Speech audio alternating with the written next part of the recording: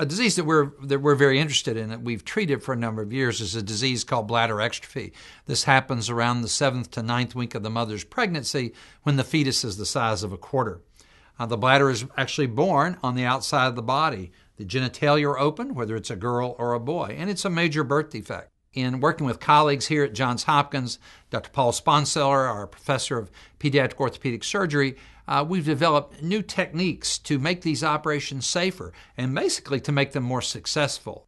We've learned how to get the bladder back inside the body, how to immobilize the child's pelvis so the child can heal better and heal in a more safe fashion. Uh, and we get better results because of that.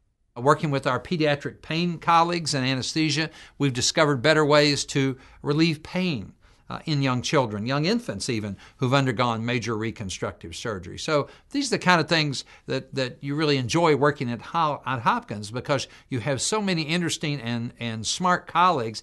It's just kind of a natural affinity for working together and making discoveries.